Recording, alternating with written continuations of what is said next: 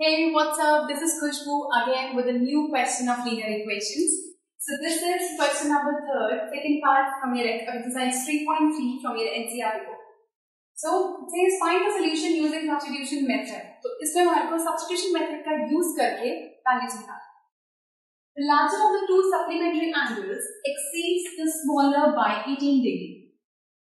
सबसे पहले क्वेश्चन में हिंट गिवन है सप्लीमेंट्री एंगल्स तो पहली क्वेश्चन हमारे यहाँ से बनती है Let the two angles be X and Y ये हम लेट करते हैं मोर ओवर अगर हम इसको लिख देते हैं X larger angle be X and smaller angle be Y the two angles bx, larger angle bx and smaller angle by. इसके साथ आप कंडीशन ले सकते हैं। सो सप्लीमेंट्री एंगल्स मींस दो एंगल्स का सम इज़ 180 डिग्री ये हमारी आ गई first equation supplementary angles means angles का सम इज़ 180 अब वो कह रहा है the larger of the two supplementary angle दोनों में से लार्जर कौन है? X. Exceeds the smaller by 18 degree. Larger angle smaller angle से 18 डिग्री बड़ा है. एक्सीड्स मींस 18 डिग्री बड़ा है. That means x minus y is equal to 18 degree. This is second equation. अब अगर मैं सेकंड इक्वेशन से x की वैल्यू निकालूं so from second x is equal to 18 degree plus y.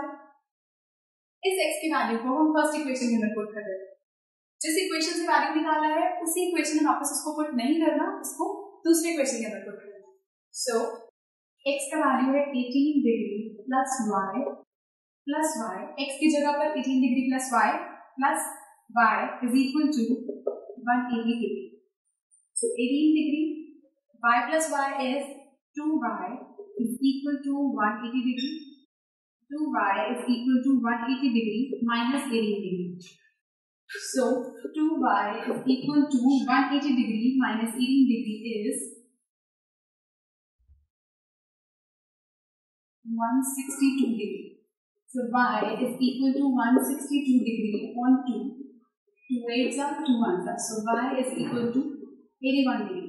ये y का वैल्यू है अब हमारे पास y का वैल्यू आ चुका हो अब इससे हम x का वैल्यू निकालते हैं x सो इसको अगर हम फ़र्स्ट इक्वेशन में पुट करें, x plus y का value is 81 degree equals to 180 degree x is equal to 180 minus 81 degree so ये हमारे पास आ जाएगा 99 डिग्री ये वैल्यू आ गया. तो y is 81 degree x is 99 degree तो बेसिकली सब्स्टिट्यूशन करते वक्त आपको सिर्फ़ ये ध्यान रखना है जिस इक्वेशन से हमने वैल्यू निकाली है पहले वेरिएबल की उसको वापस उसी में पुट नहीं करना उसको आप दूसरी इक्वेशन में उसके बाद जब वेरिएबल आ जाएगा उस वैल्यू को किसी भी क्वेश्चन में This was third question, second part of exercise 3.3. So for some more questions, please do watch the next video or in case आपको कोई भी query है कोई भी doubt है please do write to us नीचे जो space given है please उसमें लिखिए.